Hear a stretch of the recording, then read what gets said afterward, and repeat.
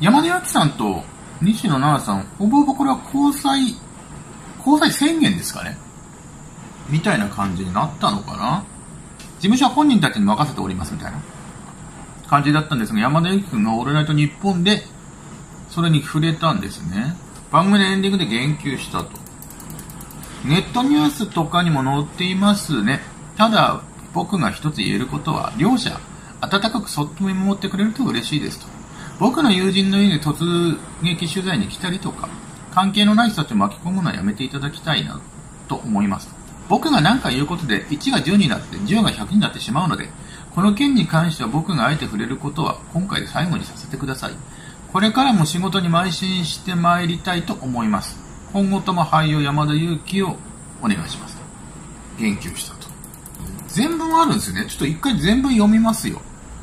いつものようにいつも通り番組メールを送ってくれた方、いつも通り番組メールを送ってくれた方、ありがとうございます。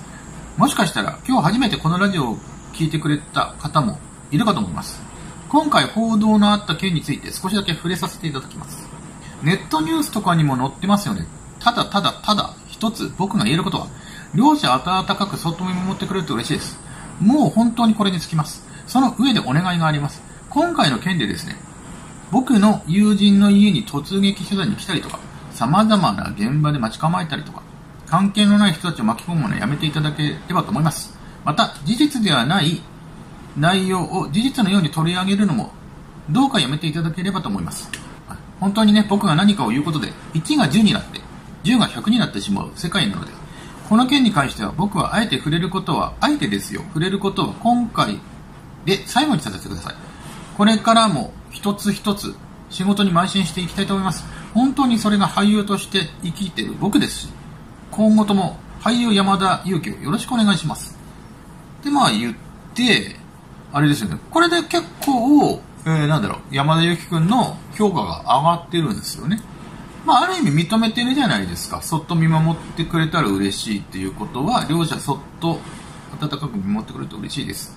っていうことはもうこれは完全なる、完全なる交際宣言と取っていいんじゃないのかなっていうふうに思うんで、いや、すごいなと。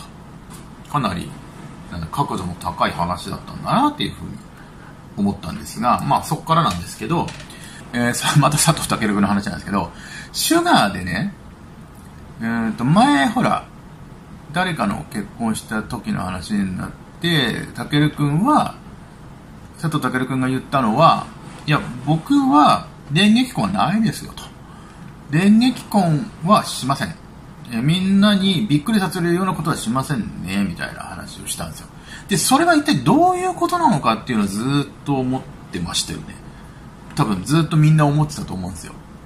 まあ、僕も何度かそういう話を動画でさせてもらって、視聴者の方もこういう風な話じゃないかみたいな感じの推測はね、いろいろ皆さんしてきたと思うんですよ。それを僕も読んだりとかしたりしたんですが。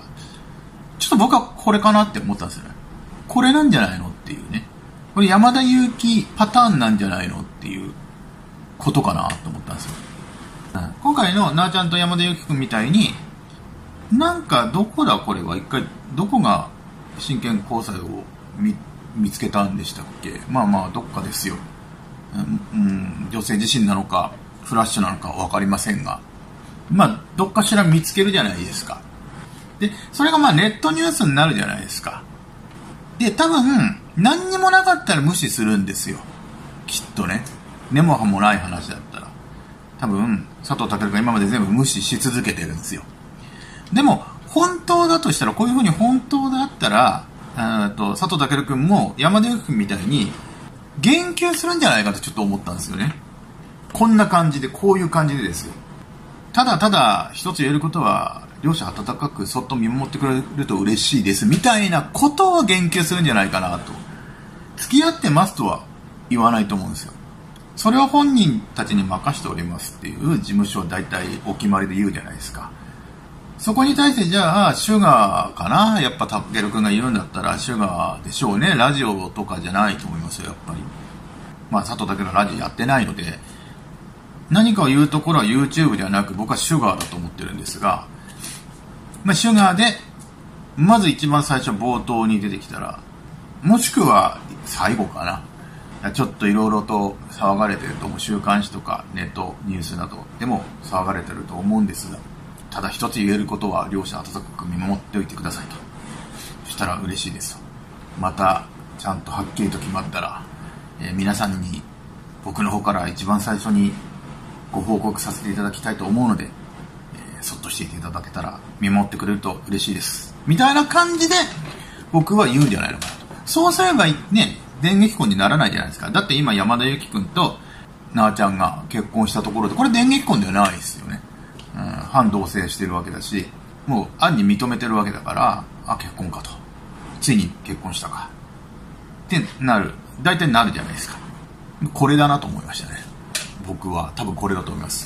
うん、佐藤健君が、電撃婚はないよ。みんなに心配させないよって言ってたのは、本当のことがあったらこうやって言及するんだ。そ、そっと見守ってくれると嬉しいねっていうようなことを、手話で言及するんだなと。僕はちょっとね、思いましたね。違いますかね。僕はこれだと思います。そちらの方は川下に植え尽くされていて、その上から水がまた出ている熱中症になるってそんなとこいたら、ね、暑いよ。暑いって。今何度あるか分かってんのあんた。なんでそんなとこ好きなの？暑いから。中入ろうもん。帰りましょう。無理。暑いよ行こう無理行こう。行こう。暑いから。いえ暑いから。行くよ。もう入るよ。